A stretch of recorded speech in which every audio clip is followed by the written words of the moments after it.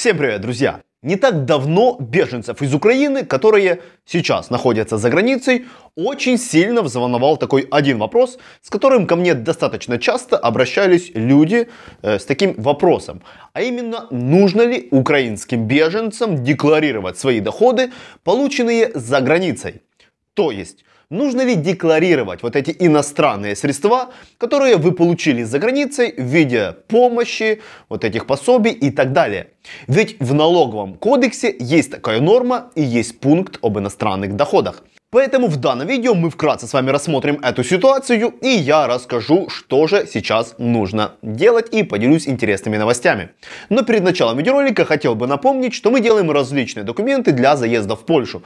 Приглашение, страховки, помощь в открытии рабочей визы, как для людей, которые находятся на территории Украины, так и для тех, кто находится в Польше и хотел бы открыть визу без присутствия. То есть с этим всем помогаем. Ну что же, а мы начинаем. Так вот, что же касается вот этой темы и декларирования своих доходов, так вот, об этом также есть сюжет на пятом канале. И почему я вспомнил про этот сюжет? Потому что именно его мне и отправляли подписчики с таким вопросом и недоумением. И я вам также покажу вот кадр из этого видео, чтобы вы понимали, о чем там идет річ. Якщо особа, перебуваючи на території іншої держави, скористалася правом на тимчасовий захист відповідно до законодавства такої іноземної держави та отримала допомогу від іноземних держав та їхніх Державних фондів, то така особа декларує як іноземні доходи Загалом таку декларацію мають подати всі українці, які отримували доходи, проте не сплачували за них податки. Під час заповнення звіту ви самостійно вираховуєте суму податку на доходи фізичних осіб це 18%, та військовий збір це 1,5%. І їх треба сплатити до бюджету. Та чи підлягають такому оподаткуванню соціальні виплати для біженців? Податок на доходи з фізичних осіб та військовий збір не визначає та не сплачує. Тобто в декларації зазначає лише отримання таких коштів Так вот, как вы поняли из этого видео, что если лицо, находясь на территории другого государства и воспользовалось в этом государстве правом на временную защиту в соответствии с законодательством вот этого государства и получало там помощь от вот этого государства, либо же какие-то благотворительные, либо от каких-то благотворительных фондов, то такое лицо декларирует эти деньги как иностранные доходы. То есть такую декларацию должны подавать все получающие доходы украинцы, которые получают за границей. Но что важно добавить, и как вы также услышали из данного видео, что сами по себе вот эти социальные выплаты, они не облагаются налогом, но все же, как говорят юристы, подавать вот эту декларацию необходимо, чтобы налоговая служба видела, откуда у человека вот этот доход.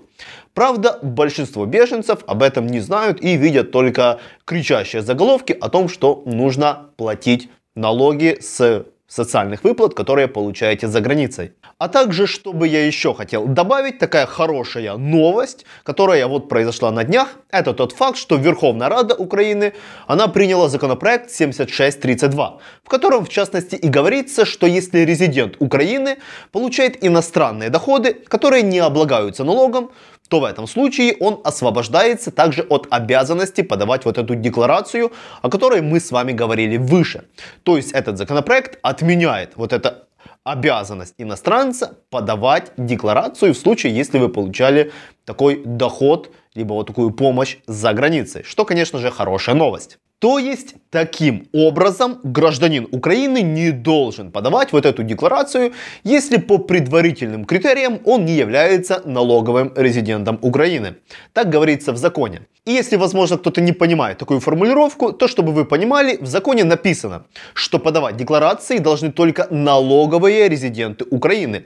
Ведь статус резидента определяется по критериям, и первым критерием является это место жительства самого человека, а затем уже место постоянного проживания, э, центр жизненных интересов и так далее. Так что подавать налоговой декларации теперь не нужно, также в связи с выходом вот этого подписанием и принятием вот этого законопроекта. Поэтому, друзья, новость хорошая. Надеюсь, для большинства людей я ответил на те вопросы и на ту тревогу, которая у них была в связи с этим. Поэтому распространите это видео, чтобы как можно больше людей увидело и успокоились, понимали всю объективную ситуацию. А чтобы вы были в курсе других основных новостей, обязательно подпишитесь на этот канал, чтобы не пропустить основные новости. Ну что же, друзья, а я, как всегда, хотел бы напомнить, что внизу в описании под видео вы найдете много интересных ссылок. Во-первых, это группа Viber с работы в Польше, вакансии постоянно обновляются, поэтому подпишитесь и следите. Во-вторых, это мы делаем различные документы, как я сказал в начале видео.